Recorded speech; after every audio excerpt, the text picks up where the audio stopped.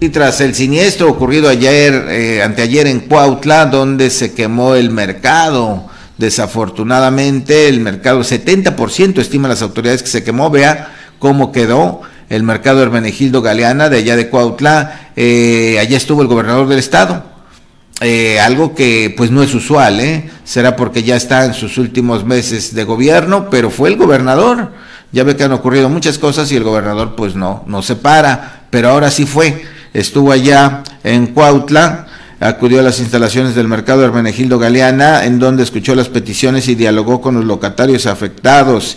Y mire lo que les dijo. Les dijo, estamos comprometidos a meter dinero aquí. Así lo dijo el gobernador.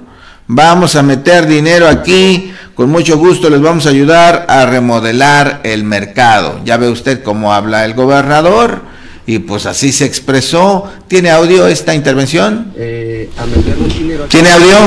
Con mucho gusto. Vamos a escuchar directamente al gobernador que dijo, les vamos a meter dinero aquí. ¿Cómo? ¿Cuándo? Eh, a meter un dinero aquí. Y con mucho gusto este, les vamos a ayudar a, remover el mercado. Así es, tranquilos. Nosotros, nosotros este, nos vamos a comprometer eh, a meter un dinero aquí y con mucho gusto este, les vamos a ayudar a, remover el mercado. Así es, esténse tranquilos. Tal cual vio, ya vio, así lo dijo, le vamos a meter dinero. Pues así se expresó el gobernador del mercado dañado, el mercado Hermenegildo Galeana de allá de Cuautla. ¿Qué situación, eh? Se estima que 250 locales quedaron en muy malas condiciones. Ajá, exacto.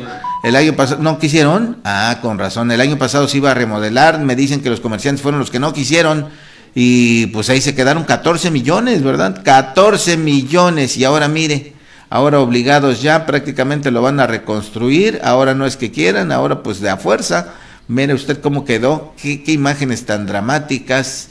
Eh, se pierde la fuente de empleo de muchos locatarios. Desde luego hay un trastorno ahí también para quienes se abastecían en este mercado. Así es que bueno, eh, ¿cuánto tiempo va a llevar esto? Pues el gobernador ya dijo que le van a meter dinero, pero aquí en Zacatepec, por ejemplo, tenemos el mercado Lázaro Cárdenas, el de Zacatepec, que lleva ya cinco años y todavía no lo pueden terminar.